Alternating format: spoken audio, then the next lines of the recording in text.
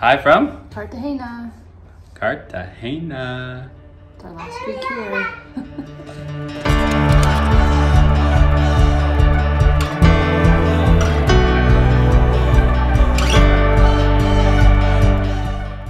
All right, so as a parent, you plan, you do your research, and you execute that plan to make your kid happy, such as today we were gonna take him to the beach. Said beach. Not for nothing, they have really, really cool toys at this beach, and you can build some super cool sandcastles with them. But they won't let us play with them. So that's that's the only problem I had out. you imagine being in a Traco to the beach and just slaying the sandcastle game? I know, right? That would be cool. But Brielle's not that interested in playing with the Traco. She wants to get her feet in the water. Now we gotta go back to the dinky little desperate tourist beach. Eat my own words here. We uh, decided to go on a little date night without the kids. kind of, you know.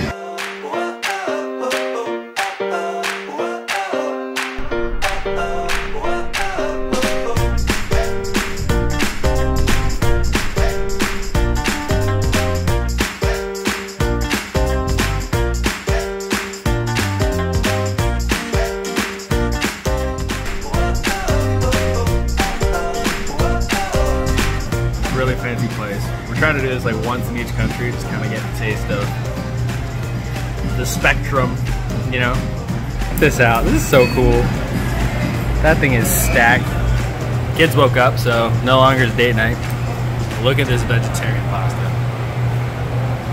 You gotta be happy about that. Lots of veggies on it.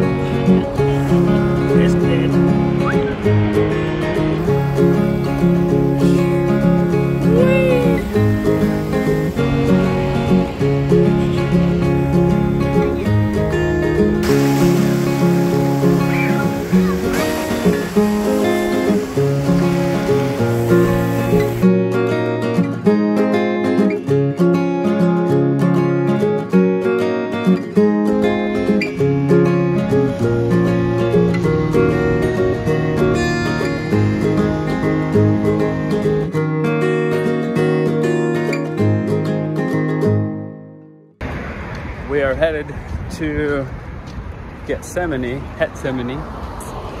which is in two parts, but part of it is on the beach.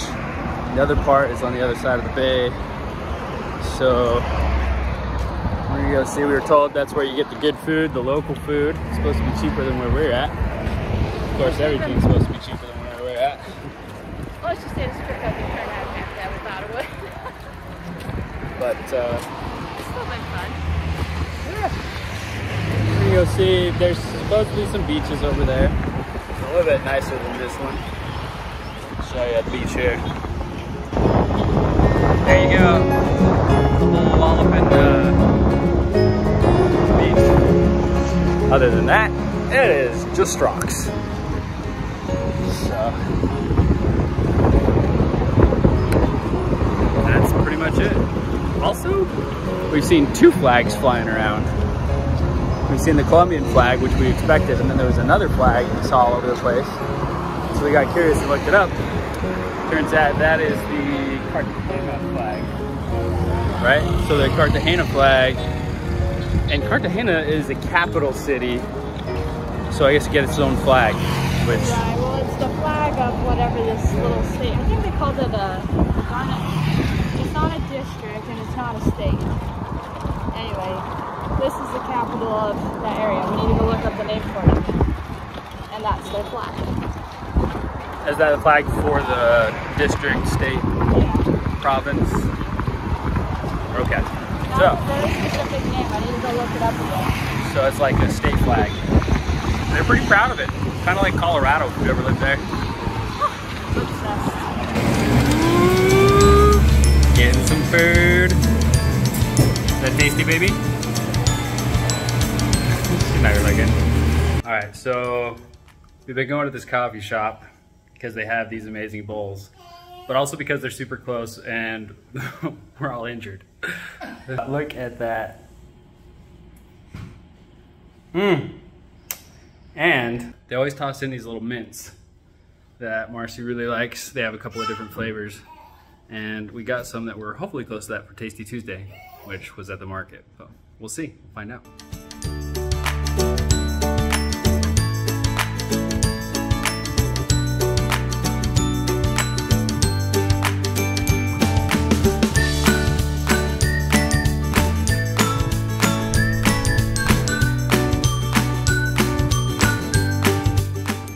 No, pizza's very good. All the restaurants around here look like five stars, we don't want to risk one of our sweet, beautiful babies start screaming and said beautiful restaurant. so Tabitha said, we kind of feel bad because every time we go out, their poor guys are out there trying to get business. So Tapley was kind to them and went ordered pizza. It's really good. Yeah, it was pesto- it was just to be kind to them. I mean, pizza. I'm I'm just They're- being real selfless. They're big on pizza here. There's lots of pizzerias. It was the same way in, In Mexico. in Mexico. Lots of pizza. Anyway, I mean, you can't fall for that. Pizza's good. Pizza is good. Pizza's way good. This area is a little park that's next to Old Town, Cartagena, which is where we're staying, which is over there. Um, they have the clock tower, and then you can see the churches and stuff behind that. And then there's actually part of a inlet over here across the ocean. They got like Pegasus statues and stuff. This is Vendor Row. We got a few things send home. We're gonna go see if we can find some more. So let's see what we find.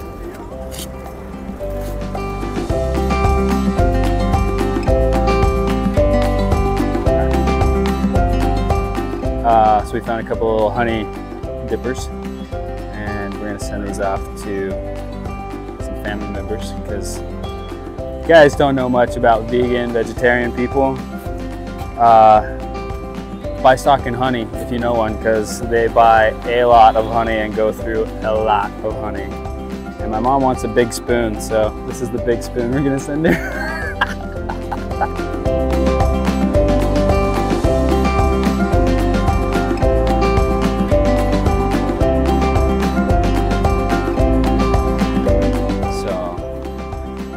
have, it's funny because you'd think that there'd be a wide variety of stuff, but ironically, every little shop is like almost exactly the same. And the fact that we found the wooden stuff here, I'm a little bit surprised because nobody else has had them. Luckily, we found them.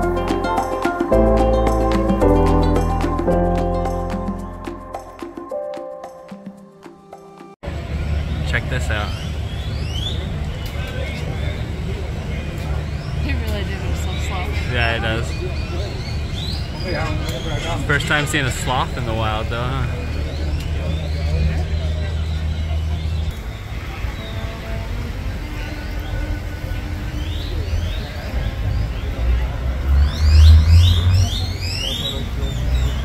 Almost. So I was taking video of the sloth up here and walking backwards, and Brielle pointed out there's an iguana right here.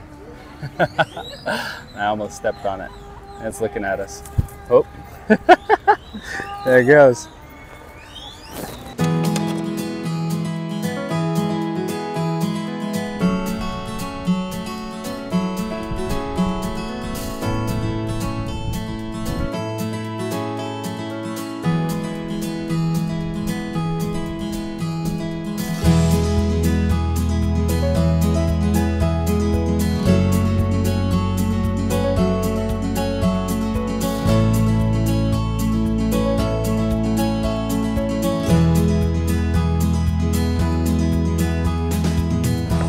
Castle de San Felipe. Castillo, Castillo de San Felipe. Castillo. Yeah, there you go. What do we know about it? Did we hire a tour guide?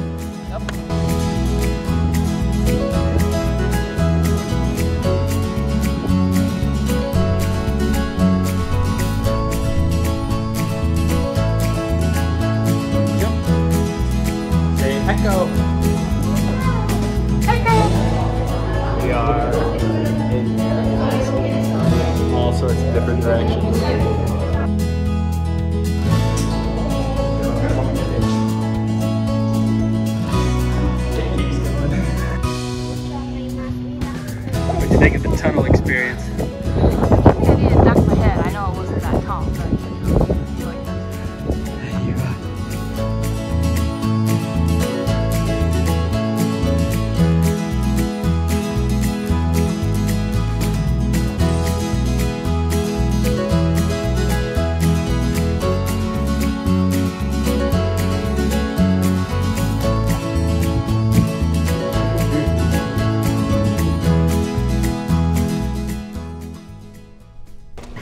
So we heard some uh, loud booms going off. We decided to come check it out. We're up on the rooftop of our apartment. See behind me is the big church. It's around.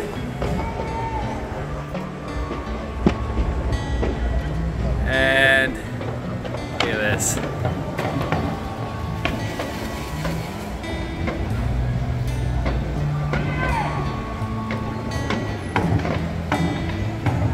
So we can't see the fireworks. but we can see the lights from them behind the church. It's pretty cool. Have a lot of rooftop activities going on, rooftop restaurants. See how many we can see. We'll zoom in. One, two, three, four, five. Got oh, this cute little guy and go set him free outside. See who's in. Go catch some buggies. Bye bye.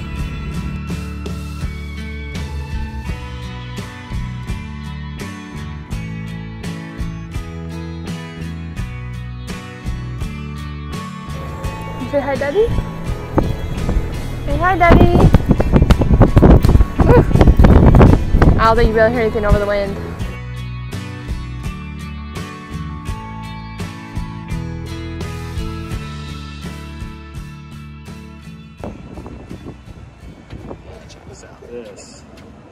Is a work of art. Eva. Hi, baby. Oh, he's so precious.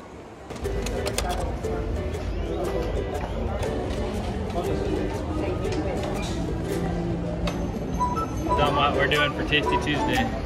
Well, this entire, I don't know, what's this called? Walkway. Street, alleyway. It's just straight sweet. So I thought, there you go, it dropped right into our lap. And what day is it? It's Tuesday. Real, what time is it? Hey, Dulce is the word for like sweet or candy. So milk, milk candy. Mm, mm, mm. These look like dog treats too. Better than what these look like. These are coconut balls. They're very popular here. In fact, they have them so much. They have them in many different flavors and colors. And colors. and then we also got a little combo deal that's got several different ones in it. So these are all from the market. There was just earlier? one big walkway, and then the awning or whatever it was, and everyone was selling the exact same thing, but there was a lot of vendors. So I thought, hey, that'd be a good tasty. Tuesday. They're all really beautiful. Um, they had a lot to choose from. The one oh um, yeah, kind this of, is a very very small sample of how much they had.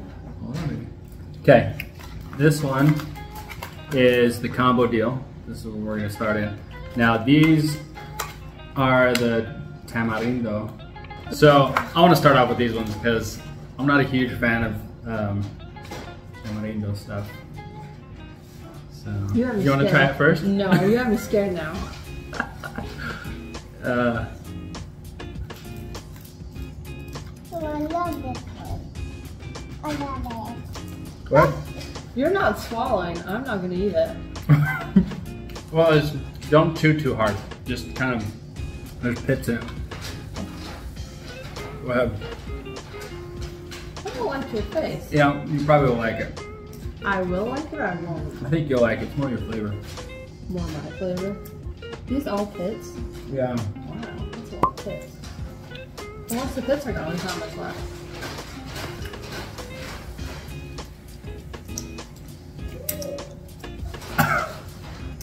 No, not bad.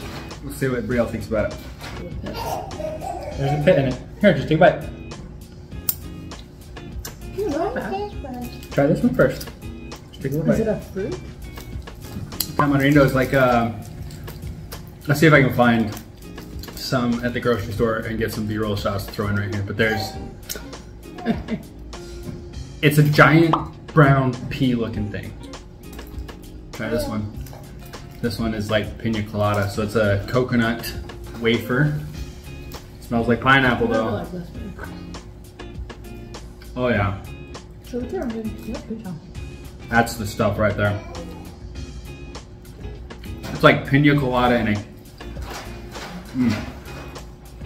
Oh yeah. It's a lot of coconut. Mmm, so good though. Hey, hi, what are you doing? That's Daddy's. No. Yeah? I like the orange. Alright, baby. I'm gonna save that one for later. I'm gonna do the dulce de Sure. leche. Look at this one. I'm pretty sure this is similar to what Marcy likes from the restaurant, so. The same? Yeah, except they're kind of more crunchy. There's a little more firm. Well, because they're, they're in the kind of like paper, paper like they're on top. This is softer. I think so. The same flavor. I think so. Yeah, very nice. Alright, this one is uh it's like it's got coconut. Um Not good? Here's some Brielle, see what she thinks. I, I would say it's alright, like uh, It's fine. maybe six. I'm not sure what it is though. This guy. No, I like that one. This is my 10 out of 10 winner like right here. one. So good. A little pina colada, a little piece of heaven. We'll have to do a tasty Monday and then go back and get some Zellos. Just kidding. Yeah. So we leave on Tuesday next well, we're week, gonna have to be at the airport. I like looking forward to that. Tasty Tuesday might be in the airport next week. But they they're out there before nine, so we might grab some of another round of street market food. Let's be. All right. Late peeps. Just that sad face. Somebody's teething. That is a sad face. Us Sad face. You know what else is a sad face? Us leaving Colombia. Us leaving Colombia. Saying goodbye. So it hasn't been long enough. There's so much stuff we still want to see. So Yeah, we saw two things then. we saw two things. Say bye. But there's other cities in Colombia we want to see someday too. So we'll be back. We'll be back. Ciao.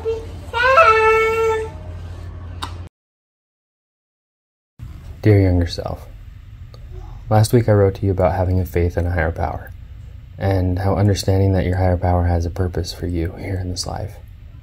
This week I would like to dive a little bit deeper into helping you find your purpose. How many times have you wondered if you're doing what you were meant to do? Are you on the right path? Do you know what direction you're supposed to go? What if your interest doesn't match what your true purpose is? First off, your higher power created you for a reason and gave you interests that would push you in the right direction. It's up to you to follow that intuition and to start down a path that you will find more meaning in. As an example, I'll share a story I heard one time. There was a team of wildland firefighters, and the team lead was newly appointed as a lead. He was tasked with hiking a steep part of the mountain to contain part of the fire that was spreading. His team hiked for over an hour, carrying heavy gear and hurrying to get to where they were supposed to be. Once they reached the top, the team lead called out on the radio to get more instructions on where to go next. He called out over and over again, waiting for a response, but that response never came. The team began eating their lunch while they waited for a response from the incident command, but there was no response on the radio. After another hour or so, some members of the team were napping and others were playing simple games, all while the fire raged below them. Yet the radio was silent.